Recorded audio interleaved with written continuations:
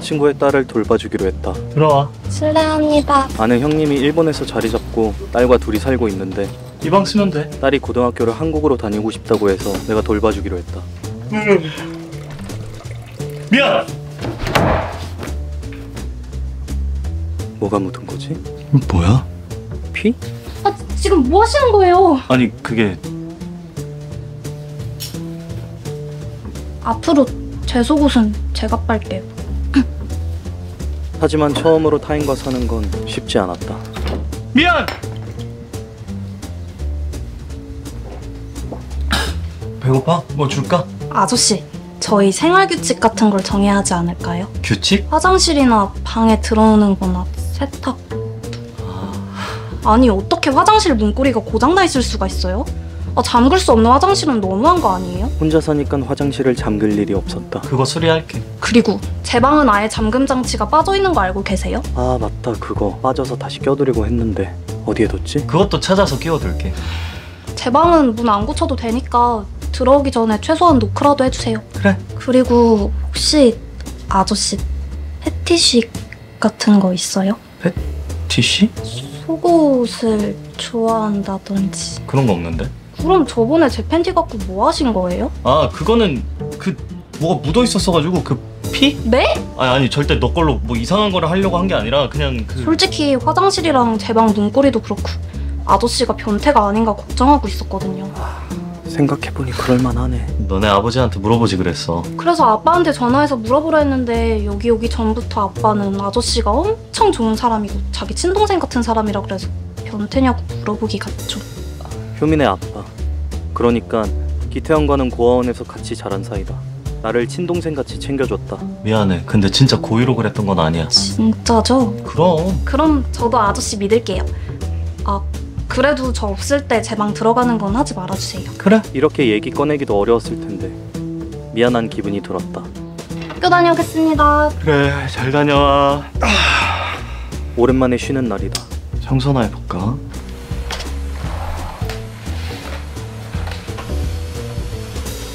얼른 청소기만 돌리고 나오자.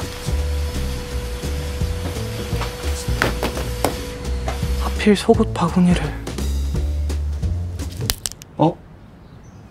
가장 큰 실수를 하고 말았다. 다녀왔습니다. 어 왔어. 그 효민아 아까 방 청소하다가 뭘 깨트렸는데 네? 미안. 그게 실수 로 무슨 실수요? 청소하다가 그렇게 제 팬티가 갖고 싶었어요? 바구니 엎은 걸 알았나? 그게 사고로 일어난 거라 그럼 팬티만 갖고 가면 되지 목걸이는 왜 깬 거예요? 미안. 아저씨 진짜 싫어요. 나중에 알았지만 그 목걸이는 속옷 바구니 옆에 있었다. 네? 엄마 유품이요? 그 목걸이 효민 엄마가 죽기 전 마지막 생일 선물로 준 거거든. 효민이 엄마는 암으로 죽었다. 일단 알겠습니다 형님. 감사해요. 네. 정말 대형 사고를 쳤네.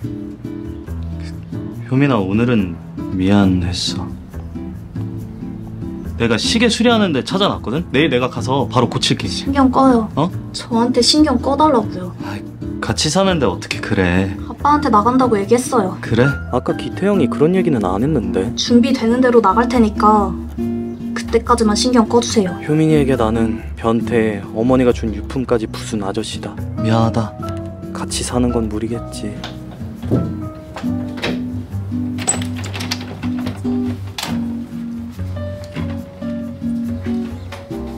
어 효민아 배고파.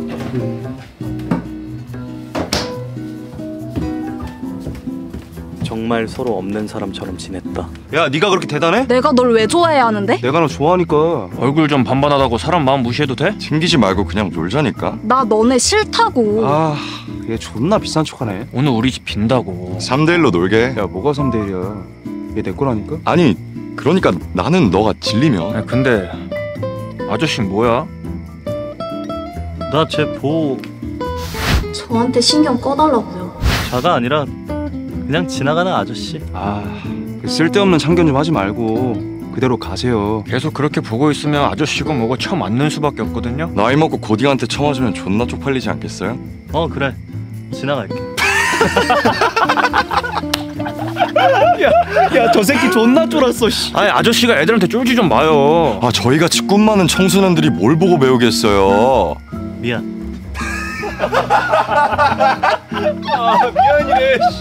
아저씨 좀 그러지 말라니까 나 너네 싫다고.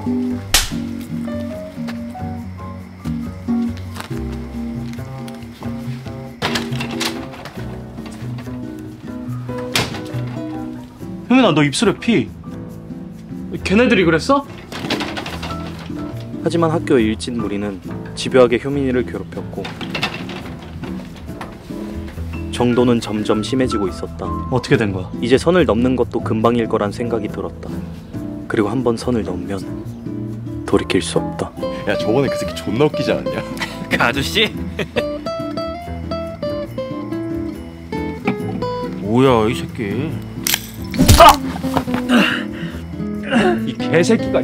너 이제 뒤졌다 네가? 너 뭐 하는 새끼세요? 잠깐만요 오지마 오지마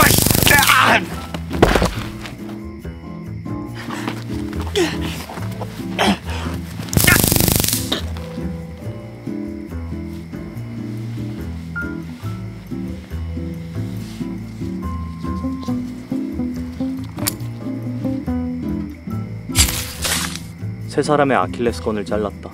이제 제대로 걷지도 못하니까 효민이를 괴롭히긴 어렵겠지. 고등학생 아킬레스건 절단 사건은 세간의 큰 이슈가 되었고 사건은 생각지도 못한 방향으로 흘렀다. 유명세 때문에 효민이를 괴롭혔던 애들은 학폭 가해자로서 대중의 도마 위에 올랐다. 그들에게 당한 수많은 피해자가 다양한 채널로 등장했다. 이것은 현역 고등학생이 최초로 사적 제재를 당하는 일이었으며 그렇기에 대중의 분노는 상상을 초월했다. 그들의 신상은 여기저기 돌아다녔다. 그리고 당연하지만 더 이상 효민이를 괴롭히지 않았다. 그리고 나를 정의의 사도로 추앙하는 사람도 생겼다. 하지만 나는 정의로서 그들의 아킬레스건을 자른 게 아니다. 아주 사적으로 좋아하는 형님의 딸을 구하기 위해 그랬을 뿐이다. 할 말 있니? 아니죠. 눈치챘나? 아니야. 그래도 모르는 게 나. 휘말리면 좋을 거 없으니까. 뭐가? 아니에요. 이렇게 일은 일단락되었다. 나는 자수를 했고 초범인 점과 수많은 사람들의 탄원서 그리고 피해자와 합의한 점이 첨작돼 3년형이 나왔다. 그리고 변호사 비용과 합의금으로 전 재산을 날렸다. 3년 만에 집이다. 먼지가 수북할 줄 알았는데 의외로 깨끗하네. 어? 효민이? 너가 여기를 왜? 목걸이는 미안. 내가 꼭 완벽하게 수리해서 왜 그랬어요? 어? 3년 전에. 왜 그랬냐고요. 어떻게 하면 걔들이 널 괴롭히지 않을지 다른 방법이 생각이 안 났거든. 미안. 근데 효민아, 언제까지 이러고 있을 거야? 제, 제가 좋아서 안고 있던 거 아니거든요? 근데 3년 전에 나간다 하지 않았어? 기다렸어요. 나를? 그래서 집이 깨끗했구나. 근데 나를 왜? 아, 그게 아빠가 아저씨 없는 동안에 집 잘 돌보고 있으라고. 사람 안 살면 집 빨리 망가진다고 해서요. 역시 기태형, 날 많이 생각하는구나. 아빠한테 꼭 고맙다고 전해줘. 저는요? 너 뭐? 3년 동안 집 돌본 저한테는 안 고맙냐고요. 아니 너도 고맙지. 원래 이런 성격이었나? 근데 학교는 오늘 공강인데요? 공강? 고등학교도 그런 거 있어? 고등학교 졸업했죠. 저 이제 스무 살이에요. 맞다. 3년이 흘렀지. 어.